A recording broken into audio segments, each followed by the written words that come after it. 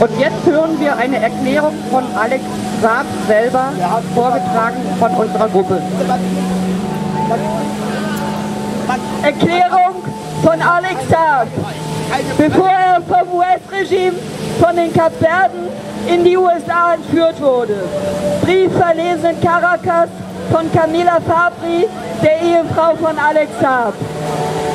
Brief wurde mit Tränen in den Augen von Camilla Fabri, der Frau von Alex Saab, während einer Demonstration gegen die zweite Entführung des venezolanischen Diplomaten von den Kapverden durch die USA am Sonntag auf der Plaza Bolivar in Caracas gelesen. 17. Oktober, besucht von einer Menge empörter Venezolaner. Erklärung von Alex Naim Saab Moran. Übersetzung aus dem Spanischen von Alex Saabs Rechtsabteilung. 16. Oktober 2021. Mein Name ist Alex Naim Saab Moran mit venezolanischen Diplomatenpass Nummer 4577820. Ich bin Sondergesandter mit diplomatischer Immunität, offiziell gewährt von der Russischen Föderation und der Islamischen Republik Iran seit April 2018 und venezolanischen stellvertretenden Botschafter bei der Afrikanischen Union seit Dezember 2020. Ich wurde am 12. Juni 2020 von den Behörden in Kap Verde entführt, als mein Flug dort einen Tankstopp machte, als ich auf Anweisung meines Präsidenten Nicolas Maduro Moros für eine besondere humanitäre Mission in die Islamische Republik Iran leiten wollte.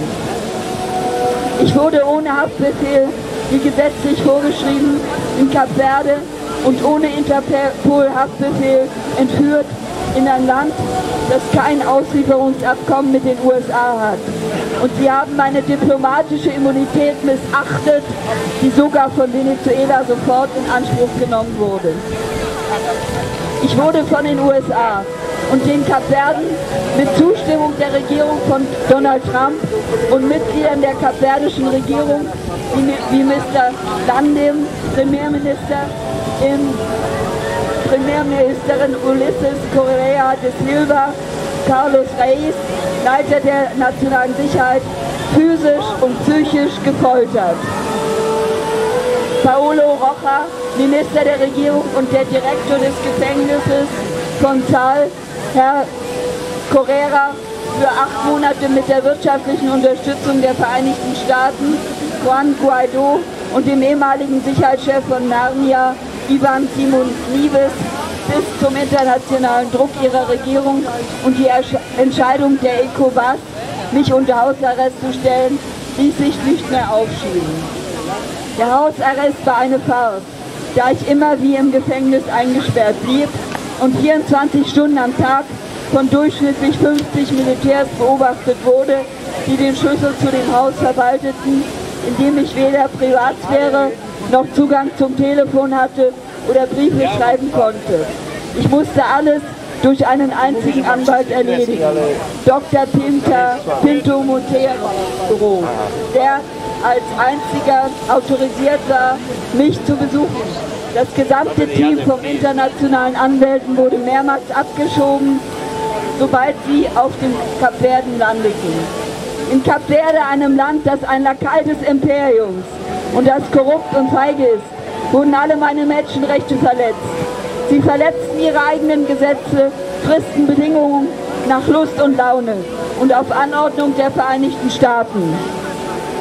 Jetzt hat das Verfassungsgericht entschieden, gegen zwölf verfassungsrechtliche Punkte zu verstoßen, die nicht zu verletzen waren und hat meine Auslieferung genehmigt.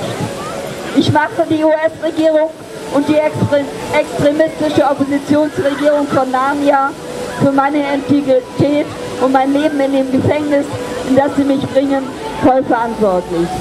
Ich werde dem Prozess mit voller Würde entgegentreten und meine diplomatische Immunität als Diener der Bolivarischen Republik Venezuela seit April 2018 geltend machen.